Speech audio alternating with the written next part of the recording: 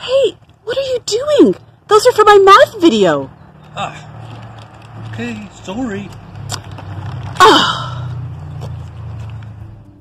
Hello, my name is Diane. I'm an information assistant at the Pierre Berton Library.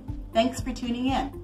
The math activity I'd like to share is teaching the concepts of perimeter and area using crackers. Yes, you heard correctly, crackers. Check out the printable section on our website for a sheet of sample shapes that you can measure. I have based the dimensions of the shapes on the sheet with those of the crackers in the Christie's brand of cheese nips. If you do not have this brand of crackers handy, then you can use other crackers or even a cereal such as Shreddies will work really well. You can have kids adapt the shapes on the sheet or use other items around your household. Just be mindful that the cheese nips do have a little bit of an oily residue, so you will want to protect your surface. You may have noticed my previous video called Craft Stick Math, where I measured the distance around the outside of a shape, a book, using non-standard units, craft sticks. Well, this activity is similar. You can measure around the outside of a shape using non-standard units, square crackers, and find the perimeter, or you can use the crackers to find the measurement of space inside a shape area. Fill in the shape with the crackers so that they are lined up without overlapping. Now, count the number of sides of each cracker around the outside of the shape. That will be the perimeter. You might want to have a little X here so that you remember where you started. So one, two, three, four, five, six, seven, eight, nine, ten.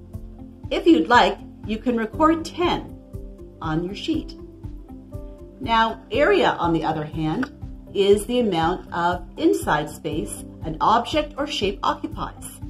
This means that you will count the number of crackers used to cover this same shape. One, two, three, four, five, six. Six square units is the area. If you want to, you can record that. Practice with the other shapes on the sheet or find your own objects.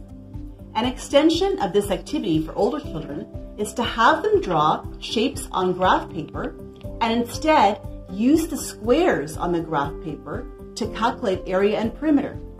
This is a more precise practice. If you'd like to check out books on this topic, the following titles are available at our resource branches.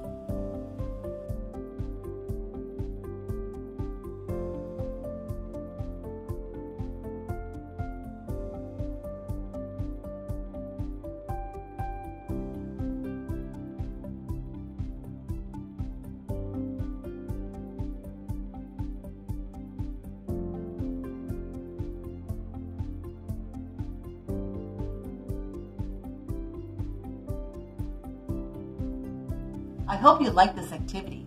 If you liked it, please click like and subscribe to Vaughan Public Libraries on social media. If you have the opportunity to try this activity with your child, we would love to see your cracker math measuring photos. Please post them to hashtag VPL at home.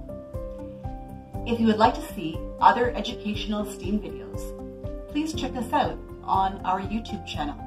You can find us by searching for Vaughan Public Libraries. Thanks for watching and stay healthy.